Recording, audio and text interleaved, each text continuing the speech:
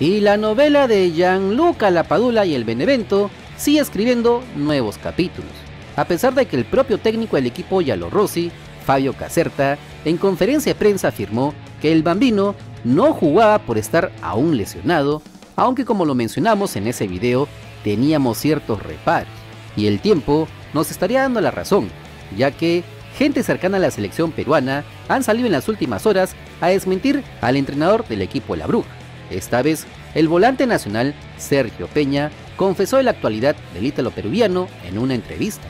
En el caso de, Gianluca, eh,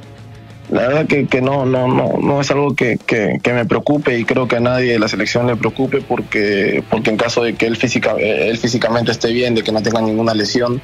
creo que, que no, no, no, no va a cambiar en nada si está jugando o no en su equipo, a lo mejor el tema, de, el tema futbolístico, el tema del ritmo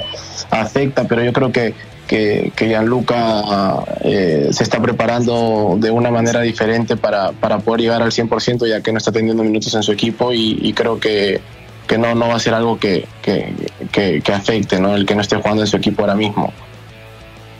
Hasta la grabación de este video, se desconoce si Gianluca Lapadula será tomado en cuenta para el penúltimo partido de su equipo en la Serie B cuando visite al tercero de la tabla, el Monza, el día de mañana, en un partido clave para mantener sus ilusiones de ascender directamente a Primera División, aunque se viene voceando que habría una gran probabilidad de que el Bambino sea convocado para este duelo. Sucede que en la derrota contra el Ternana la fecha pasada, el delantero Francesco Forte salió lesionado, quien para Caserta se convirtió en el nuevo titular. Según informó, el periodista Massimiliano Mogavero presenta un problema muscular y será baja por tres semanas.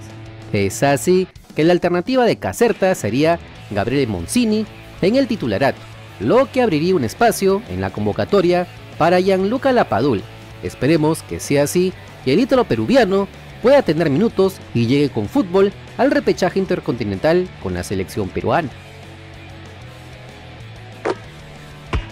No te olvides que si quieres estar enterado de las últimas novedades de nuestro balompié, solo suscríbete al canal porque somos el canal del fútbol peruano. Si te gustó el video de like, comparte, suscríbete con la campanita. Nos vemos en el siguiente video. ¡Chao!